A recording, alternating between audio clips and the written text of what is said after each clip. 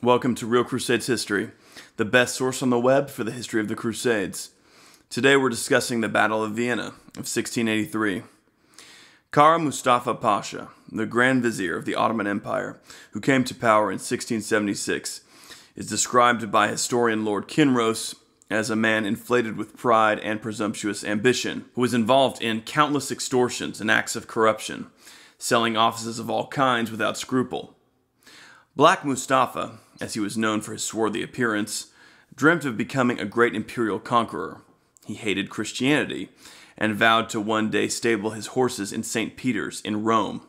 He envisioned himself winning a great war against the Christian powers of Western Europe and then ruling over their territories on behalf of the Ottoman Emperor in Istanbul. However, Mustafa's was an age of Ottoman decline, with the Turks losing territories to the Russians in the east. Mustafa intended to offset this by conquering Habsburg Vienna. He saw his opportunity in a Protestant revolt in Hungary against the Catholic Habsburgs. Mustafa promised the Hungarian rebels Ottoman support, and at Istanbul delivered to the envoy of the Habsburg Holy Roman Empire an ultimatum the surrender of the fortress of Győr along the Danube.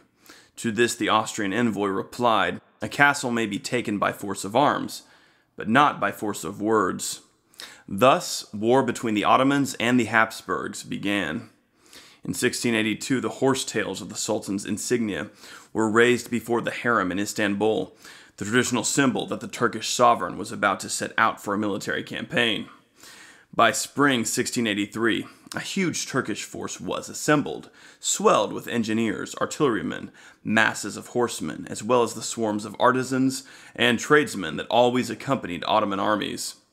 In response, Leopold I, the Holy Roman Emperor, raised a force smaller in number under the skilled general Duke Charles of Lorraine, supported by funds from the Pope, as well as an alliance with King John III Sobieski of Poland. The massive Ottoman army under the Sultan Mehmed IV, advanced west.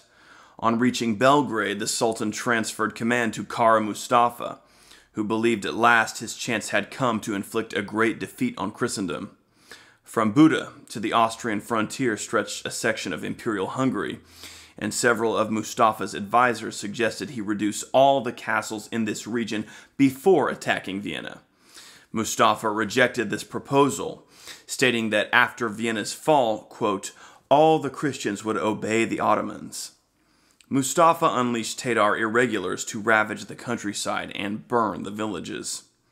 It was July 13, 1683, when Kara Mustafa appeared with his sprawling army before the walls of Vienna. As he laid camp, Mustafa issued the customary Islamic ultimatum to the Christian garrison convert to Islam, surrender the city, or prepare for war. The Count of Staremberg, governor of Vienna, didn't bother to reply. The emperor himself, along with Charles of Lorraine, had withdrawn with two thirds of the small Christian army to hold positions within Habsburg territory at Linz, while the remaining third had been left inside of Vienna to mount a defense.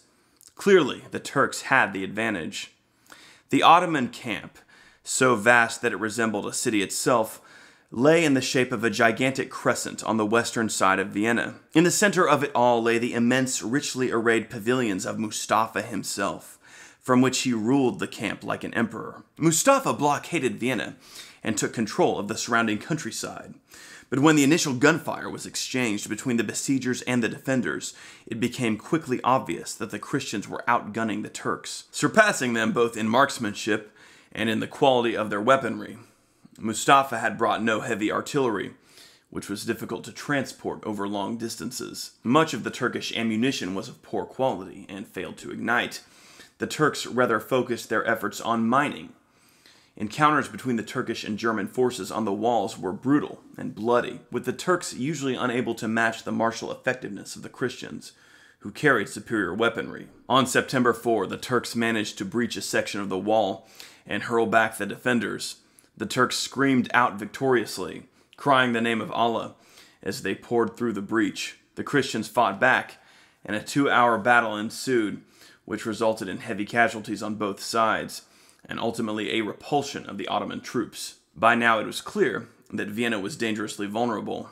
It was at this crucial moment that Emperor Leopold's ally, King John III, approached with his Polish army to take up the task of defending Vienna.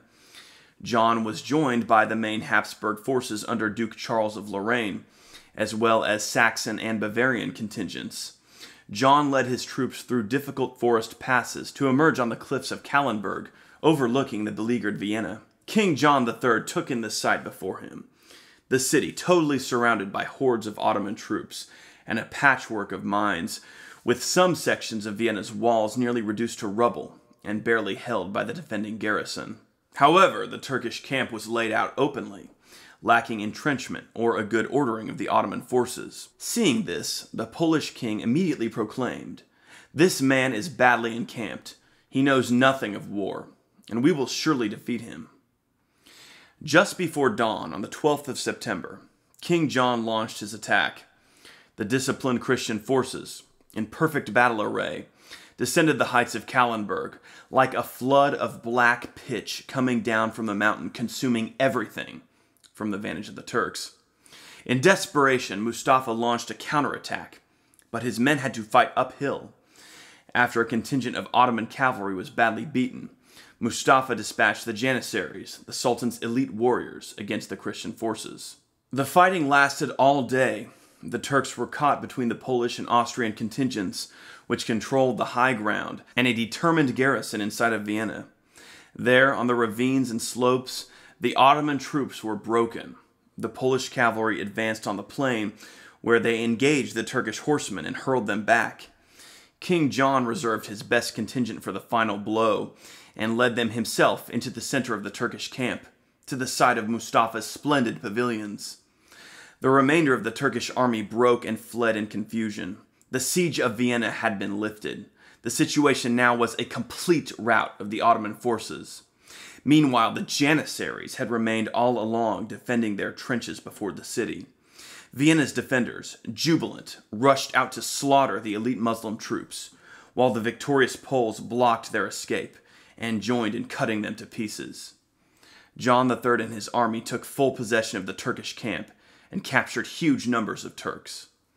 The Grand Vizier, Mustafa, who dreamed of ruling Europe like an emperor, fled for his life with the scattered remnants of his army, while his war tent was being sent to King John III's wife, the Queen of Poland, as a symbol of Christian triumph.